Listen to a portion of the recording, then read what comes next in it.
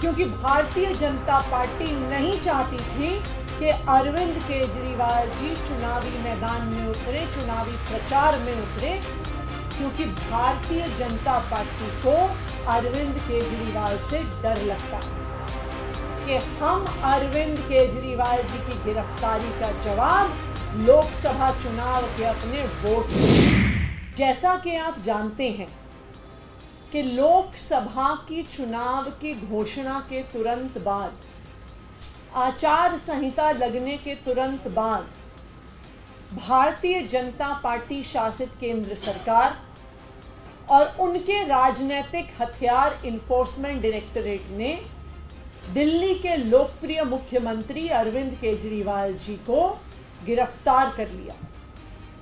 अरविंद केजरीवाल जी को लोकसभा की चुनाव की घोषणा के बाद क्यों गिरफ़्तार किया? क्योंकि भारतीय जनता पार्टी को अरविंद केजरीवाल से डर लगता है। क्योंकि भारतीय जनता पार्टी नहीं चाहती थी कि अरविंद केजरीवाल जी चुनावी मैदान में उतरे, चुनावी प्रचार में उतरे। इसलिए चुनाव की घोषणा के बाद उन्हें गिरफ़्तार किया गया। लेकिन मैं भारतीय जनता पार्टी को ये बताना चाहती हूँ कि उनका ये दाव सौ प्रतिशत उल्टा पड़ गया है।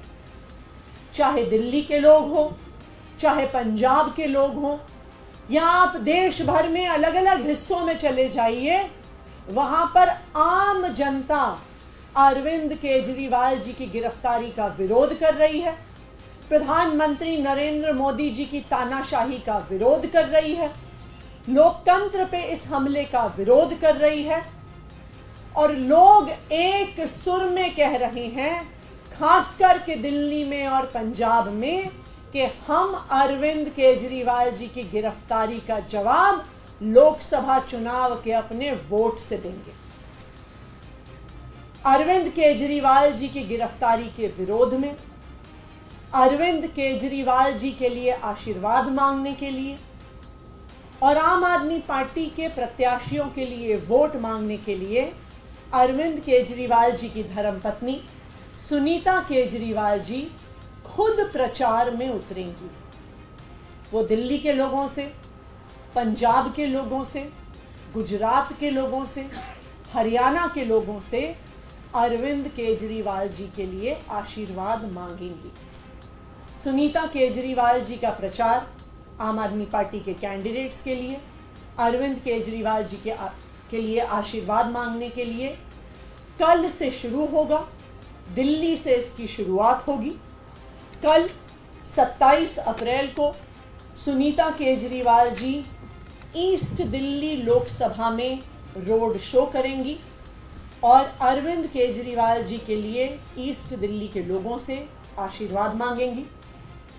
28 अप्रैल को सुनीता केजरीवाल जी वेस्ट दिल्ली लोकसभा सीट पर रोड शो करेंगी और अरविंद केजरीवाल जी से, अरविंद केजरीवाल जी के लिए दिल्ली के लोगों से आशीर्वाद मांगेंगी। मैं भारतीय जनता पार्टी को ये बताना चाहती हूँ कि दिल्ली के लोग, पंजाब के लोग, पूरे देश के लोग अरविंद केजरीवाल के साथ खड़े हैं।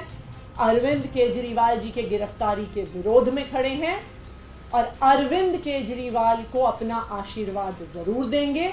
आम आदमी पार्टी के कैंडिडेट्स को अपना वोट ज़रूर देंगे।